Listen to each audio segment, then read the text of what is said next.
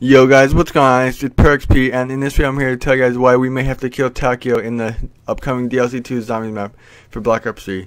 Well, it's not really upcoming, but you guys know what I mean. We'll probably get it sometime in late March or sometime in mid-April. But beyond the, point, in this video I'm here to tell you guys why we may have to kill Takeo in the DLC 2 map.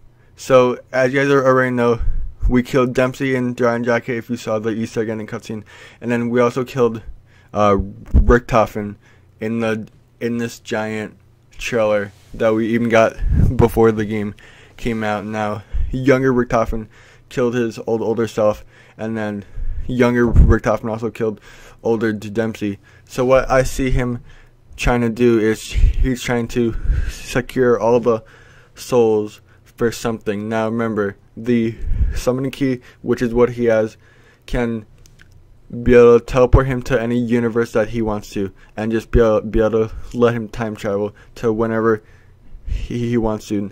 Now he's saying that he wants to stop the e evil for the greater good, and he's on their side.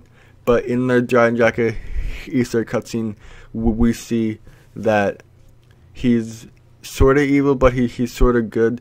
Like, I think towards the, the end of the by the DLC 3 or DLC 4, we, we will have killed all the characters in the main storyline. So, that being Takeo, Richtofen, Dempsey, and then finally uh, N- N- Nikolai.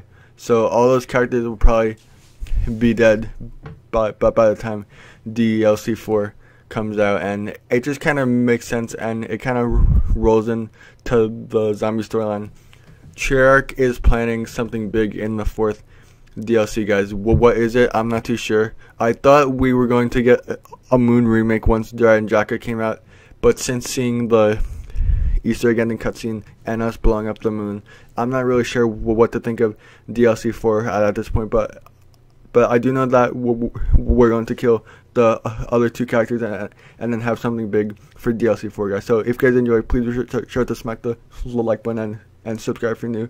Thank you guys for watching. Take care. Peace out, guys. Yeah!